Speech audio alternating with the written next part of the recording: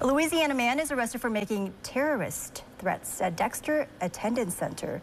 This is in Walthall County. Sheriff's deputies were notified on September 24th of the alleged incident. The Jefferson Parish Sheriff's Office arrested Joshua Dawson the following day. Dawson waived extradition and was taken to the Walthall County Jail. He is charged with two counts of making terroristic threats. Authorities say Dawson was a suspect in a similar March threat against Dexter Attendance Center.